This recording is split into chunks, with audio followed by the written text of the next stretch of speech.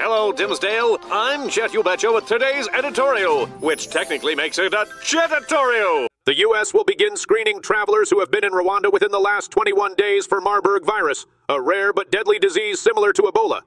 Although the current risk to the U.S. is low, the Centers for Disease Control and Prevention will implement public health entry screenings starting October 14th. Rwanda is experiencing its first outbreak with 56 confirmed cases and 12 deaths. Marburg spreads through contact with bodily fluids and is not airborne. The CDC has issued a level 3 travel notice advising against non essential travel to Rwanda. The U.S. is providing financial and medical support, including investigational vaccines and treatments. In other developments, starting in April 2025, the cost of a Mega Millions ticket will rise from $2 to $5. Lottery officials announced the price hike will bring improved odds and larger prizes. This marks the second time the ticket price has increased in the game's 22 year history, with the last increase occurring in 2017. The new changes are expected to result in larger starting jackpots and quicker growth. Officials also noted that there will be no break even prizes, meaning every winning ticket will exceed the $5 cost.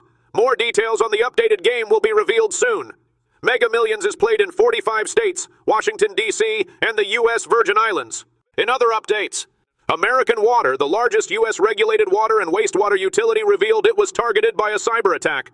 Unauthorized activity in the company's computer networks was detected last Thursday.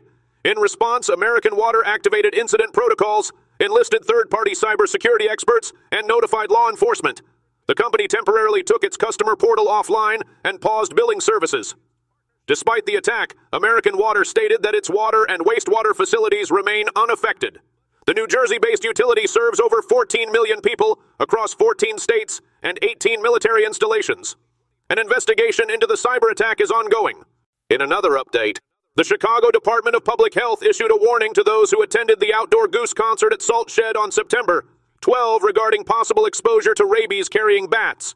Concert goers who were bitten, scratched, or had direct contact with a bat are urged to seek medical attention for rabies post exposure prophylaxis. Rabies is a fatal disease that affects the nervous system if untreated. Bats in the Chicago area are known carriers, though not all are infected. The CDPH emphasized that if no direct contact with a bat occurred, there is no risk of rabies. From all of us here, stay classy, Dimmsdale.